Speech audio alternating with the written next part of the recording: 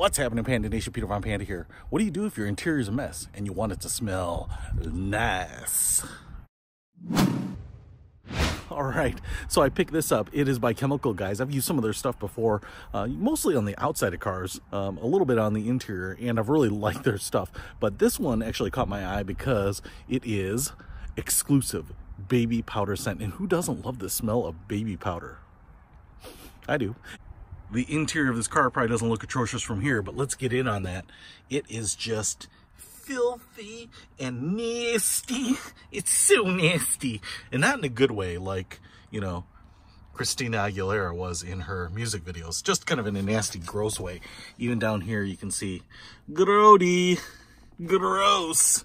Even on the screen and all that. Man, the dashboard, just gross. This is what happens and it's from clothing, food particles, but a lot of it comes from like discharge from the epidermal layer of your own skin.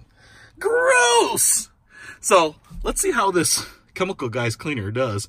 So I have a brand new, unused microfiber cloth right there, and I'm just gonna spray a little first on the cloth. And I'm just gonna tell you, does it smell like baby powder? Man, it does. I don't know. Kind of reminds me of a diaper because I guess baby powder is used when you use diapers. But if I just do a little wipe here, look at that. Uh, a couple things I will tell you right off the bat. You know, obviously you can spray it on your rag like this and wipe it off. And that looks great. And a couple things that I like, you can kind of see it right here. If I, if I do it on kind of this harder plastic, you can see it leaves a little bit of like a, a liquid shimmer, but it's not a greasy, overly wet look like a lot of cleaners. And that's what I've really come to like about the Chemical Guy stuff is that it doesn't give it maybe a dry look, but it gives it kind of a dry look. Now, right over here, it's pretty bad. And I'm going to go ahead and spray the cleaner directly onto the upper plastic here and try wiping it down because I want to see when you go really aggressive with this too, you know, what does that look like?